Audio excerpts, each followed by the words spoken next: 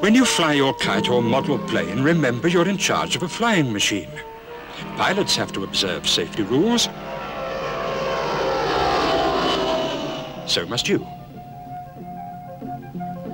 Make sure there are no pylons, overhead lines, or electric substations around.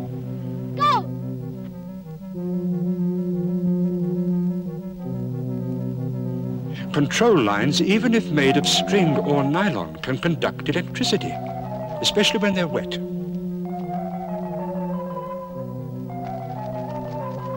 Watch out!